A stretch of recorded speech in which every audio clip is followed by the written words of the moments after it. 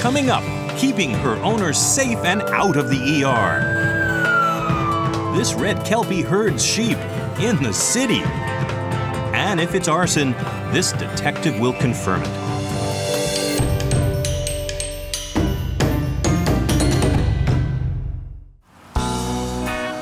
Lewisville, Texas. A Dallas suburb is the home of Tara Miller and her chemical detection dog Beauty, a seven year old Greyhound Pit Bull Cross who is Tara's lifeline. Tara suffers from severe chemical intolerance. Just one whiff of cigarette smoke, perfume, or household cleaner can cause her lungs to fail. Before she got Beauty, Tara was rushed to emergency regularly. When I have an attack, usually um, it starts with a chest pain and then it escalates from there where I can't get any air. It's very painful, it hurts a lot. Greg Wilcox, a paramedic, has often come to Tara's rescue. If she doesn't get a shot of epinephrine and it's severe enough a reaction, she will go unconscious and then eventually die.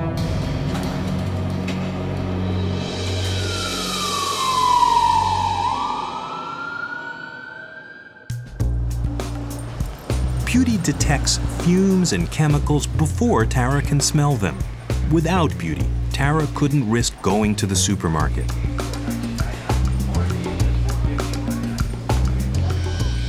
Smelling this cleaning product would make her sick. Beauty is trained to keep Tara away from any substance that could trigger an attack. She'll either stop me or she'll guide me around it by pushing her head into my leg or stopping in front of me whenever she smells something that she thinks is bad for me or toxic.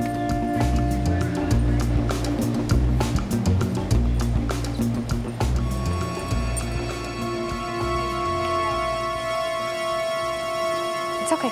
All right. Tara's condition began when she was in grade 9. All right.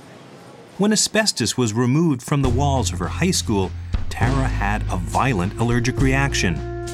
Afterwards, she developed severe reactions to all kinds of substances.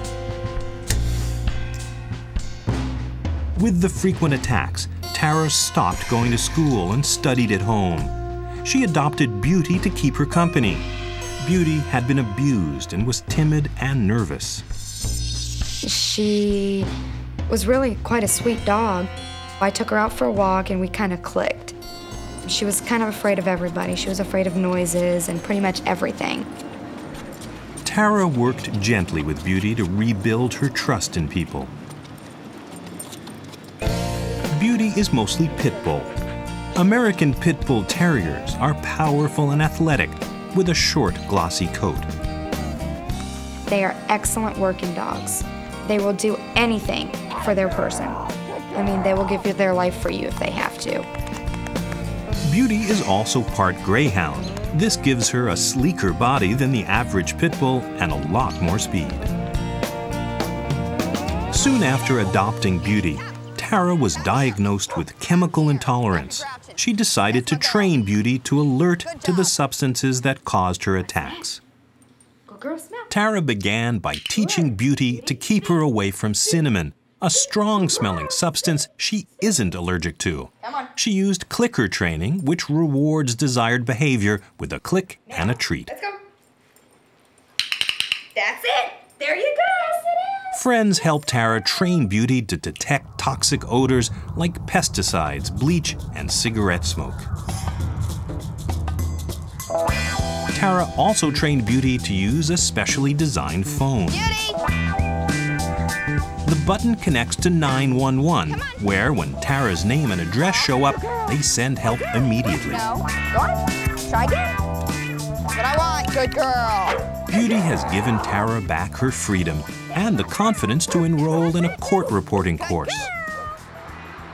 I have the option now to go to college to do things that I normally would not have been able to do. Have a career, have a steady job where I'm not always out because I'm ill. Just basic things that everybody else takes for granted. Beauty, hey, good girl. But Beauty might not be going along to school. A few months ago, she was traumatized by a paramedic. We pulled into the hospital, they opened the door, reached in, grabbed Beauty, and threw her off the stretcher and out of the ambulance onto the concrete. They basically destroyed my dog. They made her terrified of people she had come to trust to take care of her mom. Beauty just hasn't been the same since. She'll do her job if she has to, for me, but she's nervous. She's not enjoying work anymore. She's not happy. Tara wants to let Beauty retire but can't until another dog can take over. Two months ago, she adopted Cody, an Australian Shepherd. Good job. Beauty helped train him. She pushes him away from substances Tara's allergic to. Good boy. Tara starts school tomorrow and wants to take Cody. Come on, guys. Come on, Cody. He's passed the tests in the park, but before Tara can trust him with her life, she'll test him in a department store with her father's help. Tara and Beauty go in first to pinpoint the danger zones.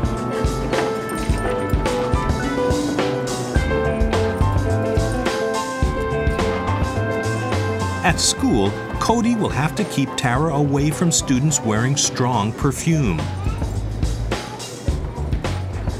Beauty indicates a spot where Cody should alert. Now it's Cody's turn. Where are they? It's very nerve wracking trying to work a new dog that you have to entrust your life to. If Cody doesn't alert at the perfume department, he won't pass, and Beauty's retirement will be postponed.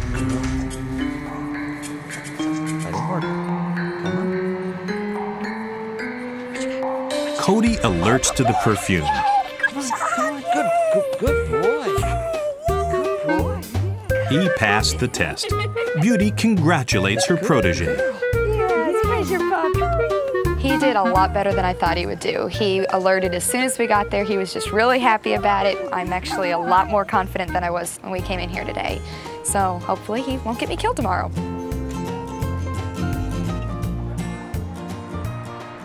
It's Tara's first day at school. She's nervous, but she tries not to let Cody know. Can we go? Cody keeps Tara away from people wearing perfume and from other chemical odors she could react to. When the coast is clear, Cody lets her move. When I left this morning, I was scared to death. But he has not let me down at all. And there's been people here with perfume, and I haven't smelled any of it. But they've told me when he moved me back that, oh, well, it's because I've got strong perfume on. So you can't ask for more than that, can you? It'll be a while before Tara can trust Cody the way she trusts Beauty. Beauty has taught Cody well. Now she can retire, but she'll always be Tara's favorite pet. I think that's an interesting thing. This one piece will make 52 layers. Watch on mobile devices or the big screen. All for free. No subscription required. Download Veely now.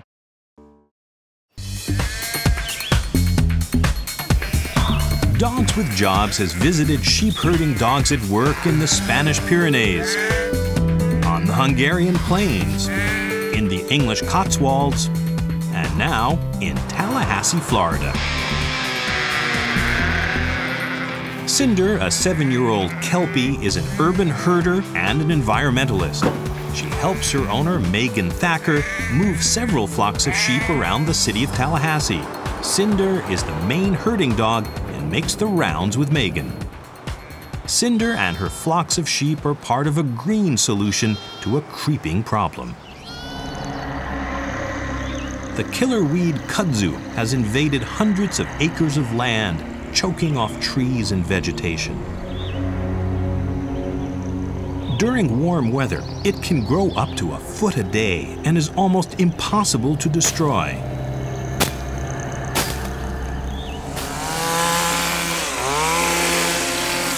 Fortunately, kudzu has a four legged enemy While these sheep attack the kudzu, Cinder keeps the flock in line and out of traffic. The sheep graze in different locations around Tallahassee from one to three days. An electric fence is put up to contain them.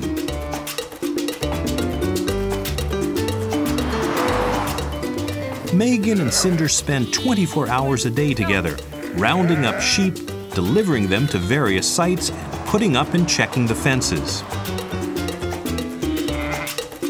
Cinder's job is to be with me all day and just be there to do whatever it is that we need done during the day. If the sheep get out, she has to round them up. If I need them loaded into the truck, she's there to help me. Cinder's job is full of challenges unbearable heat, poisonous snakes, and traffic. A lot of the locations are near busy roads. Cinder has to make sure the sheep don't wander onto the streets. I worry all the time about the traffic. A lot of people in cars don't slow down when there's sheep and dogs out. Tallahassee's tropical climate is home to all kinds of poisonous snakes. They hide in the long grass, and Cinder could accidentally step on one. She's so small, a bite from an angry snake could kill her. Henry of Bellwether Solutions came up with the idea of using sheep to combat the kudzu. Sheep are, if you want to think about it, uh, an inch wide mowing machine that's self propelled, that seeks out the kudzu wherever it happens to be and will actually tear it down out of the trees. Fortunately for us, kudzu is an excellent feed for sheep, and for them, it's as if they were at a birthday party eating ice cream and cake nine months of the year. So they go after kudzu with great gusto. The reason cinder is so important to this process is these areas are incredibly dense and thick. Cinder can go in and gather the sheep in whatever way the shepherd needs. This field on the edge of the Piney Z subdivision was once chest high in kudzu. The sheep last grazed here a month and a half ago. By the time Megan and Cinder return at sundown, this patch of kudzu will be history. Regular grazing will eventually kill the kudzu after about three years.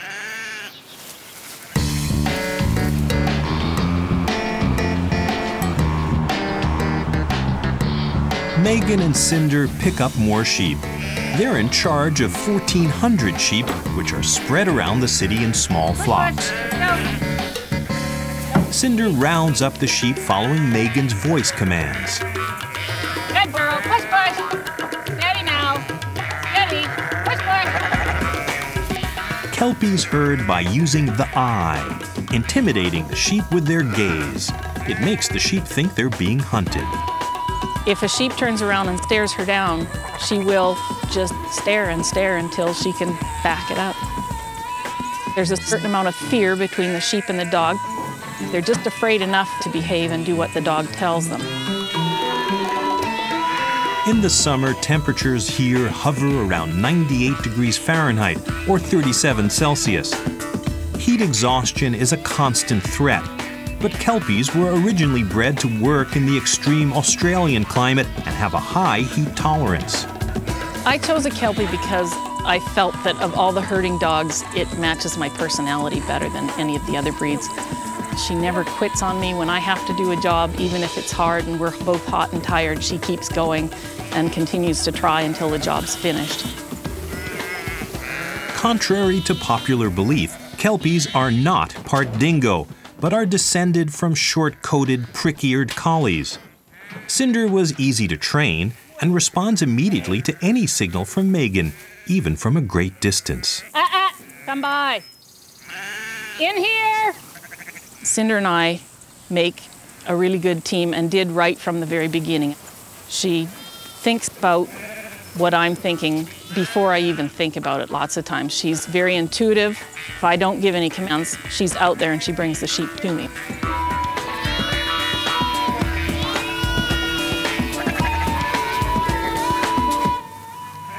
There's an emergency. A fence is down and the sheep have escaped. Megan and Cinder rush over to control the situation.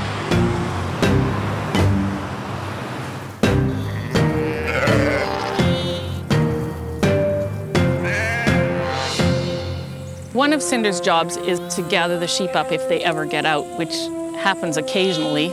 I need the dog to round them up quickly so that they're out of the traffic and people's yards. And the dog did overall an outstanding job in getting the situation under control. Rounding up the sheep and getting them back into the pen and getting the fence back up. It's the end of the day. Cinder and Megan go back to the Piney Z site to see what kind of dent the sheep have made in the kudzu. Earlier today, the kudzu overgrowth at Piney Z looked like this. In just 12 hours, the four legged lawnmowers have eaten up the patch of kudzu and trampled the stems down to the ground.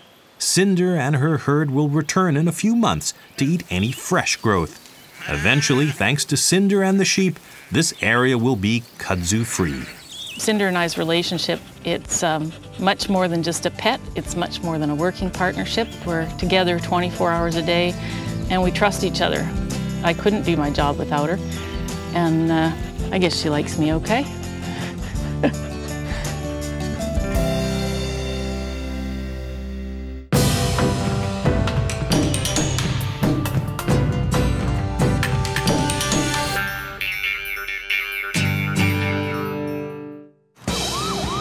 Approximately 25% of fires in the United States are caused by arson.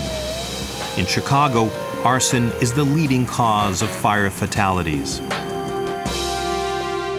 Blaze, a lively 18 month old Labrador pup, lives in a suburb of Chicago with Scott Tebow and his family. Scott is a firefighter and paramedic who's hoping to become an arson investigator. His career change hinges on Blaze. If she passes her test, she'll be his partner. The certification test is kind of scary uh, because if, if I don't certify, we, I have to go back through school again, and that's not what I'm looking forward to. Substances that start fires are called accelerants. Arson dogs like Blaze help pinpoint them and eliminate the need to gather numerous samples. Tomorrow is their certification test. Check. Blaze has a good nose, but she needs to stay focused to pass the exam. Scott takes Blaze to work every day. She loves playing with the firefighters when they're waiting for calls. Scott and Blaze need to be certified as a team and handler unit, but Blaze may still be too puppyish to be a working dog. She gets very upset when I'm not around. She always wants to be by me. She always wants to play. So the she gets very upset when we go in the ambulance. It's because I'm not in the firehouse and I'm not with her all the time. And she gets upset with that quite often. Blaze is a young dog with a lot of energy. To pass tomorrow's test, she'll have to pay close attention to Scott. Working with Blaze is, a, is very, very tough at times. Um, Blaze likes to do what Blaze wants to do, and the dog has to work with the handler, and he cannot be distracted with any other things. Trainer Bob Fleming is conducting Blaze's four-part test. Okay, Scott, we're going to do the can line up here. And what we've got is 20 cans. First, Blaze needs to search 20 paint cans filled with fire debris. Bob has planted a drop of turpentine in one of the cans. Blaze needs to pick the right can and alert by sitting. So when your dog indicates, you have to make the call. You understand? Yes, very good. Okay, let's do it. Ready to go to work? Come on. Okay. Okay, boys. Check. Good check. Check. Good girl. Check here. Check. Labrador Retrievers, as an arson dog, are probably one of our better candidates. Uh, we like them because of their attention span, the high retrieval drive, and uh, their hunt drive. People like them because they're a non-threatening breed. So uh, coming into a, a, fire situation with and working around the general public and a lot of the PR things, the Labrador is probably the best choice. Good girl, that's our fight right there. For Blaze, the search is a game, and her reward is a tennis ball. Blaze worked with good intensity the entire time, checking each individual can. When she came to the can that contained the accelerant, very clear, concise uh, indication. Blaze passed part one of the test. Some arsonists start fires in piles of laundry, hoping investigators will think the clothes accidentally caught fire on the water heater. If the clothes don't all burn, traces of accelerant will reveal the truth. Come on, man. The clothes are full of distracting odors, human, animal, and food smells. Check. Check here. Check here. Blaze finds the accelerant and gets a reward for passing the second part of the test. Check. Good girl. Her next task is to search an entire field for a tiny piece of gauze with kerosene on it. When leaving the crime scene, arsonists may drop evidence that provides clues to their path. Check. Good check. Check. Good check. Check. The pair use the wind to their advantage, and Blaze finds the evidence. It's a good girl. There's our find right there. Good. She's check, aced part three of the girl. test. Blaze's final hurdle is to search a fire scene. Broken glass and jagged debris could harm Blaze, so Scott goes in alone to make sure the area is safe. We're getting ready now to put down another accelerant for Blaze here in this structure. Uh, this was not an arson fire itself here, so we already know the building's uh, free of any accelerants. So what I'm going to be putting down here is Jet A fuel, and I'll put a couple drops here on this chair. Girl. Good girl. Okay. The overriding smell here is of smoke and chemicals from the burned furnishings. Blaze has to focus. Come on. Good girl. Check. Check here. Check. Check here. Good girl. There's our find right there. Blaze had an excellent search again. A little different here. There's a lot of unsure footing and uh, things for her to stumble over and kind of spook her at times, but she worked through it real nicely, came to the odor. She indicated the odor as she's supposed to, and Scott made the call again. Excellent job. Okay, Scott, uh, you've passed the fire scene test as well. That means all four tests have been completed successfully without any misses. I'm happy to tell you that both Blaze and you are now certified as an detector dog team. Congratulations. Thank you. Scott and Blaze have a busy 10 years ahead of them. She's going to do a great job. I look forward to working with her quite a bit. She's a very good dog. I love her very much. I think we're going to make a great team together.